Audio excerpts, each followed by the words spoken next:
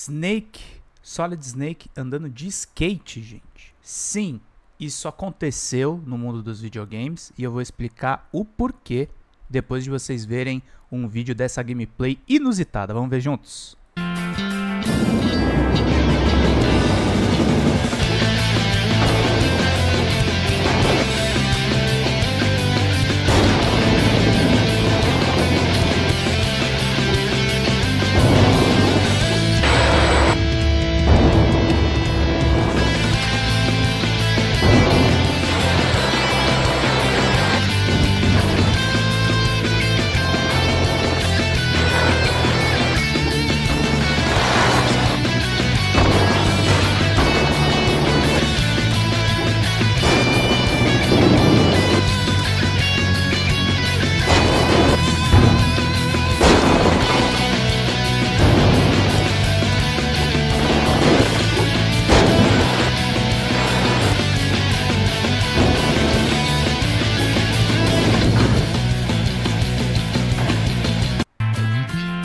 é Solid Snake, gente, andando de skate no jogo, no jogo Metal Gear Solid 2 Subsistence, só para vocês saberem, é, que foi justamente a versão estendida, uh, Subsistence, aliás, não é sub, Subsistence, é, é justamente o jogo, do, a expansão do 3. Mas o Substance foi lançado justamente, gente, no ano de 2001, é, como uma expansão do jogo é, do, do, do, Metal Gear Solid 2 de 2001. Uh, e é bem interessante. Ele, ele tem a. Na verdade, ele, é, ele, ele funciona como o jogo VR Missions a gente acompanhou justamente de todo mundo que estava acompanhando, estava vendo, né, gente? Foi uma versão aí expandida já com Raiden na capa, sem aquela propaganda só do Solid Snake, com as artes do grande Yoji Shinkawa. Uh, lançado em 2002 para Xbox, PlayStation 2, Windows em 2003, PlayStation 3 em 2011, Xbox 360 em 2011, PlayStation Vita em 2012. É, ele adicionou justamente cerca de 500 standalone missions, similares àquela do VR Missions, justamente do Metal Gear original de 1998, com 300 missões é, ocorrendo dentro de, uma, de um ambiente, na verdade, em VR. E 200 missões alternativas, justamente para você acompanhar aí a saga de Solid Snake Raiden. O, o Cyborg Ninja também está disponível justamente e várias, vários episódios adicionais.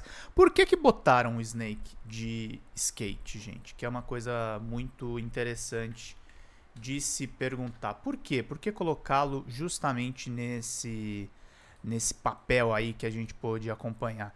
Porque, gente, era a época, os anos. final da década de 90 e começo dos anos 2000 era a época justamente do, do Tony Hawk Pro Skater, né? A gente estava no auge aí justamente dos jogos de skate, de simuladores de skate. E o Hideo Kojima basicamente ele surfou nessa onda, surfou literalmente, para usar uma palavra assim, colocou ali todas as mecânicas que a gente via na franquia Tony Hawk nesse minigame extra de Metal Gear. Então não é montagem, não é mod. A gente sabe que é importante vídeos como esse para explicar para vocês que existem essas expansões, esses crossovers importantes, coisa que a gente vê hoje muito mais comum em jogos como Fortnite. Naquela época aconteciam inclusive em franquias canônicas, como o próprio Metal Gear. Isso gerou muitas coisas na época para todo mundo poder acompanhar, é, montagens, coisas bacanas para a gente poder assistir. Mas era basicamente aí uma, um cruzamento de duas grandes franquias para a gente acompanhar. Não teve nenhuma, nenhum outro minigame depois. A gente teve o, o, jogo dos sapinhos no Metal Gear 3. A gente teve também o próprio Metal Gear Online é, dentro do Metal Gear 4. Mas não teve nenhuma, nenhum outro jogo que voltou com essas adições. Talvez, se fizerem um remake do 2, a gente pode ter aí esse minigame atualizado, de repente com as mecânicas aí do remake do próprio Tony Hawk. Para mim, na época, foi maravilhoso ver isso era uma época que eu, eu tinha 15, 16 anos, né? Metal Gear foi. O 2 foi o que me pegou mais ou menos nessa época. Depois, quando eu tava perto dos 18, eu joguei o 3.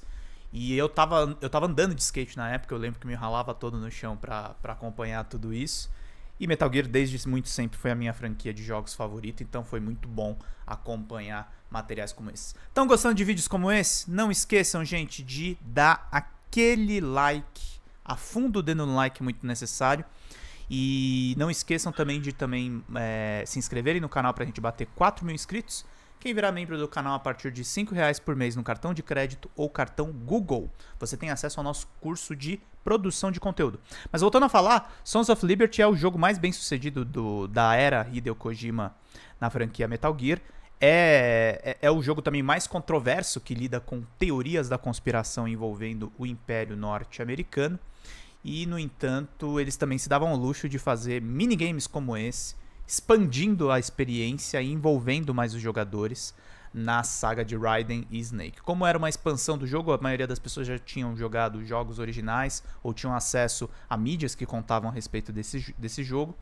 E então é, o Raiden aparece na capa, desmistificando uma ferramenta de marketing que foi muito usada no, na virada dos anos 2000 Uh, que era colocar o Solid Snake na capa. O jogo também saiu, o original, pelo menos saiu em torno de controvérsias, né? Porque ele saiu poucos meses depois do 11 de setembro de 2001, o ataque das Torres Gêmeas. Ele tinha alguns estágios que aconteciam nas Torres Gêmeas, mas o atentado terrorista obrigou o Hideo Kojima a mudar algumas coisas dentro do jogo, já que o game rolava justamente na cidade de Nova York, no coração ali da é, do capitalismo, né?